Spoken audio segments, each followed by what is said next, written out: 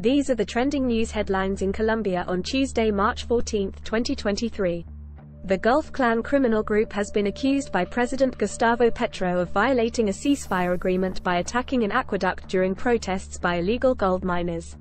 The protests resulted in roadblocks that affected up to 300,000 people across 12 municipalities in Colombia's Antioquia and Córdoba provinces, causing shortages of fuel, food, and medicine.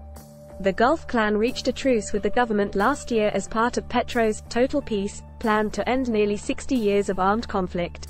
However, negotiations between the government and illegal miners have not yet resulted in a deal, and the Gulf clan continues to encourage attacks against medical facilities, vandalism, and roadblocks. Meanwhile, the military has stepped up operations to secure the region, blowing up four excavators used in illegal gold mining in the Cauca River over the weekend. The Gulf clan is known to be behind a significant portion of the drugs exported from Colombia, the world's largest producer of cocaine. Bolivia and Colombia, two of the world's largest cocaine suppliers, are urging the United Nations to remove coca leaf from its list of prohibited substances. The countries argue that the leaf has many uses unrelated to narcotics, such as in teas and medicines, and that it is a fundamental part of their culture and indigenous rights. However, the lengthy process requires the UN's World Health Organization to study coca's non-narcotic benefits first. Colombian President Gustavo Petro, who backs the campaign, has criticized the US-backed war on drugs and its impact on poor coca farmers. While expectations were high, neither country has revealed their plans to propose the legalization of the coca leaf.